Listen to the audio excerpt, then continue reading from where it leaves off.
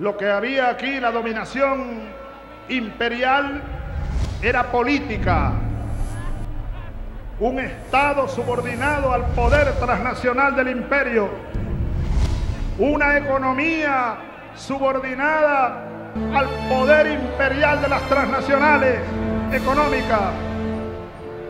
Incluso buena parte de nuestra identidad nacional había sido pulverizada.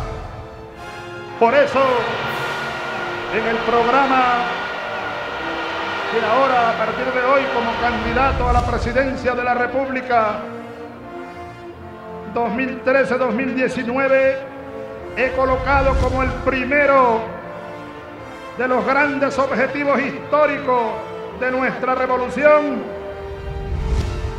expandir y consolidar el más preciado bien que hemos logrado.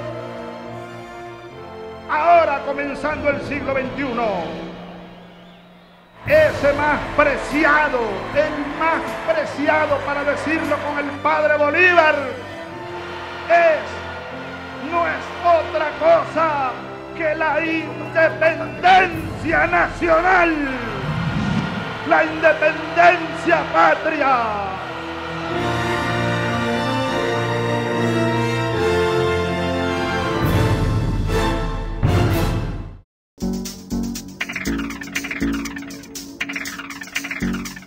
El segundo gran objetivo histórico, continuar construyendo el socialismo del siglo XXI en Venezuela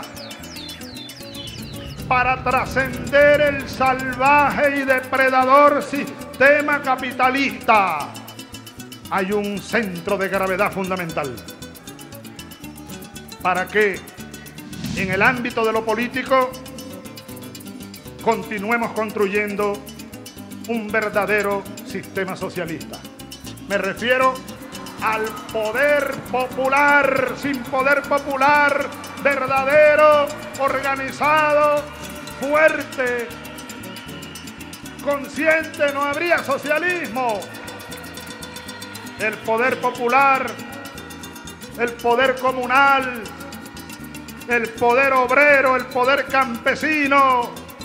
Por eso es tan importante continuar consolidando ese poder popular y con él continuar dándole vida a la, nueva hegemonía revolucionaria, socialista, popular.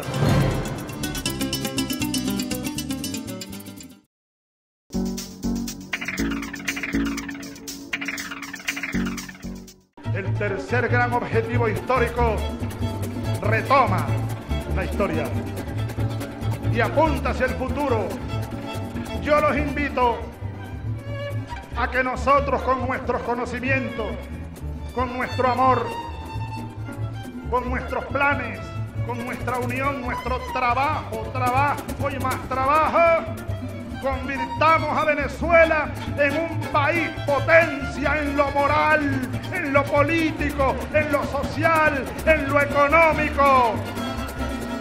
Este tercer gran objetivo histórico se inscribe la potencia país Venezuela en la gran potencia naciente de América Latina y el Caribe.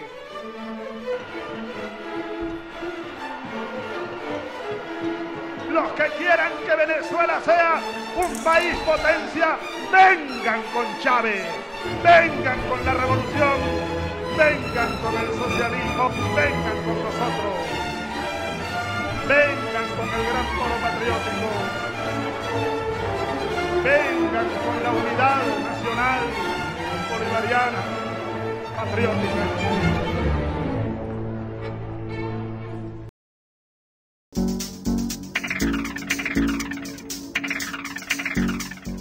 El cuarto gran objetivo histórico tiene que ver con el ámbito mundial, más allá de nuestro continente. El cuarto objetivo nos lleva a seguir contribuyendo en la conformación de un mundo multicéntrico y pluripolar para echar abajo definitivamente el proyecto unipolar del imperialismo que pretende acabar con este planeta. Necesitamos el equilibrio del universo para decirlo con Bolívar, una vez más Bolívar. Para ello es muy importante que Venezuela siga ocupando y jugando el papel en la nueva geopolítica internacional en la que hemos contribuido en algo. La OPEP,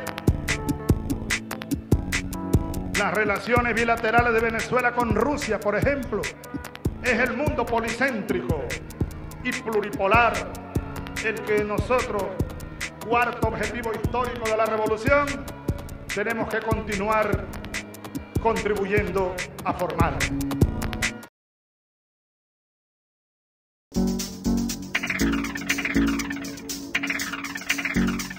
El quinto gran objetivo histórico tiene que ver sobre todo con el tema ecológico, pero es mucho más que ecológico, es político, es ético.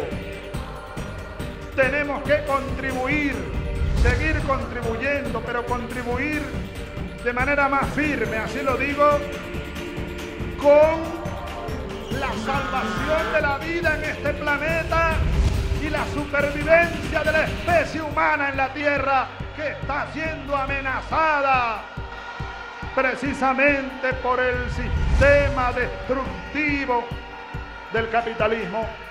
Uno de los más grandes problemas que tiene hoy el mundo y, la, y, y una gran amenaza, los cambios climáticos. Y resulta que los grandes países no quieren comprometerse con un conjunto de medidas que se han estudiado para frenar el incremento de la temperatura del planeta que está produciendo, entre otras cosas, bueno, la desaparición de grandes masas polares. Aquí mismo, las nieves del Pico Bolívar están desapareciendo. Los casquetes polares están crujiendo. Buena parte de los grandes extensiones de hielo del océano Ártico han desaparecido porque la temperatura del planeta ha venido creciendo, producto de qué? Del sistema capitalista y depredador